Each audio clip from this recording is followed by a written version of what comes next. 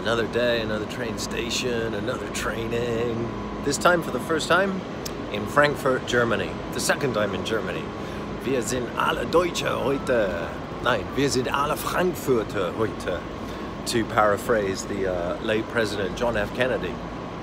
You know, somebody said something about John F. Kennedy. They said, or he actually said, I don't have to do all the work myself. I just have to surround myself with people that I know can do this work.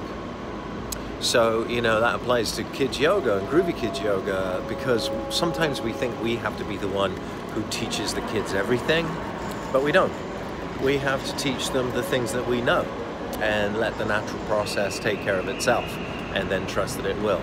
And it will, because it does, because that's life.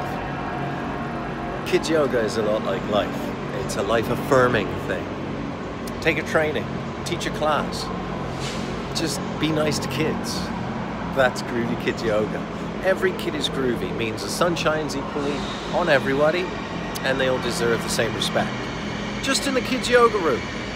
Start with that. 45 minutes of enlightened thinking. You can do it. See you soon.